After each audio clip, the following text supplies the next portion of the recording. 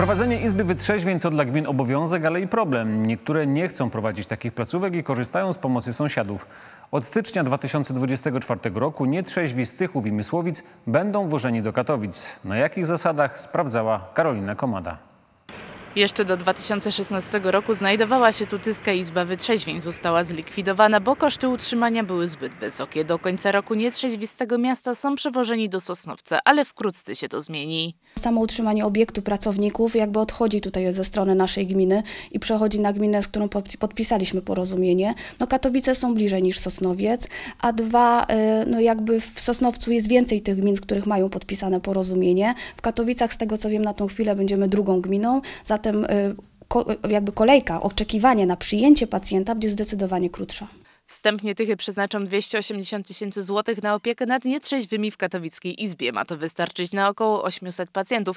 Druga gmina, która zdecydowała się na porozumienie z Katowicami i przeznaczy na to ponad 170 tysięcy złotych, to Mysłowice. W zeszłym roku y, gdzieś około 600 osób y, trafiło do Izby Wytrzeźwień. Y, Koszt to było 330 zł y, od osoby.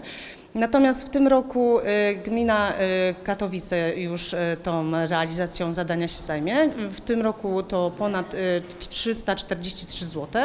Natomiast Gmina Sosnowiec, jeżeli, gdy zajmowała się tym tematem, to też ponosiliśmy opłaty z tytułu kosztów egzekucyjnych. Na czwartkowej sesji katowiccy radni mają przegłosować przygotowane porozumienia. Te wejdą w życie 1 stycznia i pomimo, że Katowicka Izba Wytrzeźwień pomieści maksymalnie 40 pacjentów, to miasto nie wyklucza podobnych porozumień z innymi gminami. Musimy pamiętać o tym, że Izba Wytrzeźwień ma pewne ograniczenia. Oczywiście dyrektor Izby zauważył, że w ostatnich e, latach mniej jest osób, które trafiają do Izby, jeśli to odnosimy do danych jeszcze sprzed 7-8 lat. E, Niemniej oczywiście musi to być zorganizowane w taki sposób, aby wszystkim osobom trafiającym do Izby była zabezpieczona pomoc lekarska, e, opieka w trakcie, kiedy te osoby w tej Izbie e, przebywają. Natomiast pewnie będziemy przyglądać się temu, jak to się rozwija, jak działa i, i czy jeszcze są możliwości na to, żeby ewentualnie z e, jakimiś innymi gminami się porozumieć w tym względzie.